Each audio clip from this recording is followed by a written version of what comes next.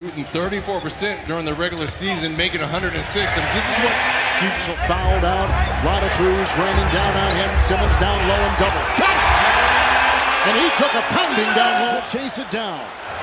Two on three. Finds an opening and takes it in for two. Ben Simmons has started running down. Brooklyn plus 12 points from three. Simmons! Nine points and five shots. Triple teamed. A nice corkscrew move by Ben. Three Marjanovic, who grabs the loose ball, the rebound, and it's Redick the other way. Simmons in stride. Knifes is way for two. Feed hits the deck hard. Simmons has the ball. Look at the swiping of it inside. He's still got it to go. And the Sixers open up an 18-point lead. Simmons the steal. He's tracked by Allen, looking for the contact, got the layup.